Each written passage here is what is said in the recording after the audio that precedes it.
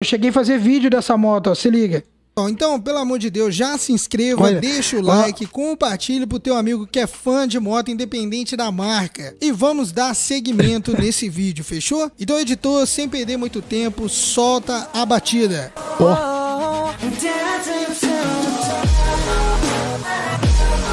Tempo do editor, hein? Tempo do editor no canal, ó.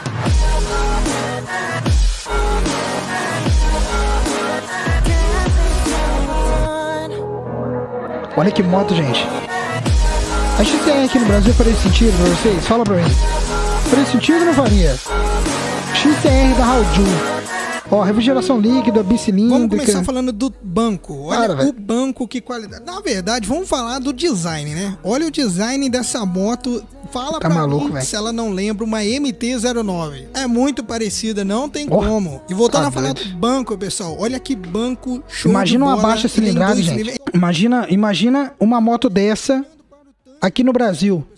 Bicilíndrica, 29 cavalinhos. Daquele jeitão.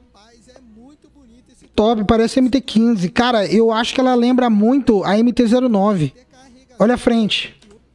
Olha a frente. Olha que moto, gente. Na moral mesmo. Nossa, velho. Olha que moto fantástica. Olha o painel dessa moto. Não tem condição, velho.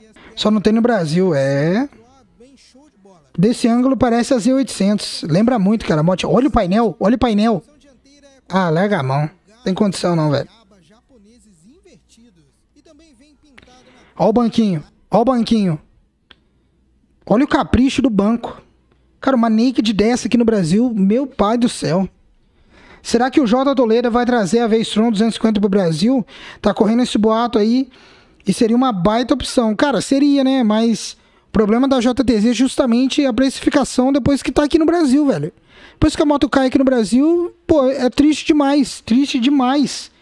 E essa XCR 300 é que, assim, eu não sei se fica se, se compensa trazer esse tipo de moto para o Brasil, porque a gente já pode ver pelas Ontes, né? As Ontes ela chegou é um, é um projeto top, tecnológica pra caramba, só que veio pela JTZ. Essa moto se viesse viria pela JTZ também. Então assim, esse motor é um motorzinho bicilíndrico, o das Ontes já é monocilíndrico, tem 29 cavalos, refrigeração líquida, é uma moto, cara, pelo amor de Deus. Ia colocar a FZ25, CB300, todas no bolso, do mesmo jeito que a 310R das Ondas já põe aqui no Brasil. Mas, por ser JDZ e o preço tá lá em cima, a galera não compra, não compra.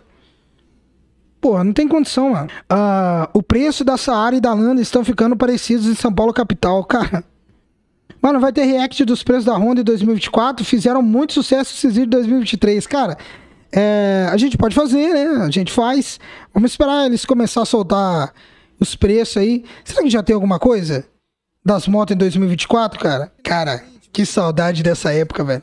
JTZ e, Dra e Dafra matam marcas boas. Aham. O tanque tem uma leve curvatura para o alto que transmite a sensação de volume e suas abas laterais são discretas, enquanto que a rabeta segue um bom gosto. É curtinha e com suporte de placa suspensa lá atrás, como em motos de maior cilindradas, por exemplo. Os dois escapes, um de cada lado, também são curtinhos demais e apontados para cima, o que dá um toque de esportividade a mais para a moto. Sem sombra de dúvidas, é uma moto diferenciada Olha isso. demais e aqui no Ó, Brasil seria uma boa Que coisinha mais pedida. linda. Não, vamos voltar isso aqui.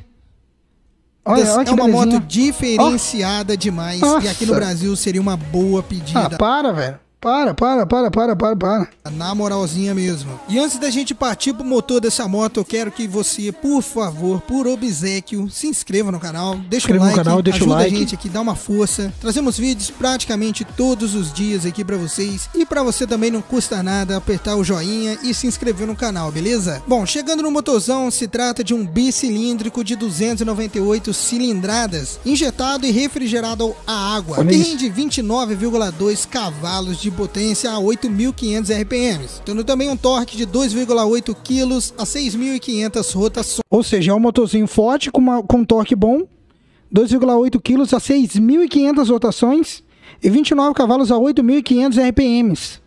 Para, velho. Que motorzinho enxuto, né? E além desse motorzão vir com a embreagem assistida e deslizante, o motor ainda conta com um câmbio de 6 marchas. Lógico que muitos vão dizer que essa moto é para competir com a MT-03. Porém, pessoal, 29,2 cavalos não compete com a M3 nem a pau. Por mais que seja um motorzinho bicilíndrico, né, eu acredito que seria mais ali um... Ô, para... louco, gente. Olha que motinha, cara. Nossa.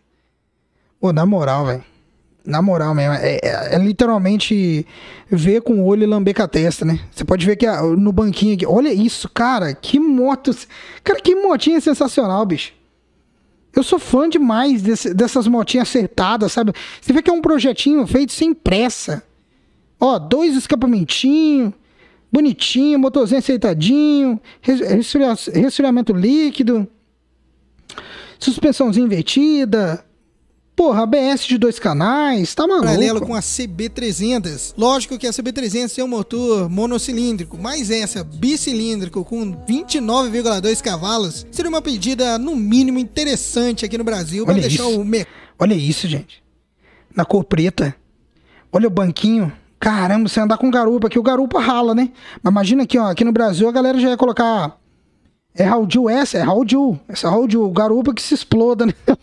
ah, o garupa que se lasca ali, né, meu? Uma freada ali, 29,2 cavalos bicilíndrico. Você viu, Matheus? Porra. Motorzinho bicilíndrico. Mano, agora é, da Elite. Só faz react. Sobe uma toque que se rala nos vídeos de moto desconhecida. Cara, eu vou falar um negócio pra você, velho. É... Eu, eu parei um pouco de trazer moto desconhecida pro canal, porque a galera tava reclamando, velho. Tava me hateando pra caramba. Eu falei, ah, velho. Aí eu fiz um vídeo aqui, comecei a fazer live, comecei a fazer as coisas, a galera ficou, tá ligado? Mas é isso, né, velho? Elite, quem me dera, hein? Elite, cara, coitado de mim, cara. 29 cavalos contra 42 de MT, covardia. Uh, esperando a Himalaia 450. Essa vai desbancar essa área, vai. MT-15 também não dá para levar na garupa. Ah, cara, essas motinhas aí precisa andar sozinho, né? Nem a CB500 com 50 cavalos se garante contra MT-03. Achei feio o cano do escape. Tinha que ter um protetor de cárter ali para esconder. Sério, velho? É, ficou meio, ficou meio amostra de... Caramba, é verdade mesmo, hein?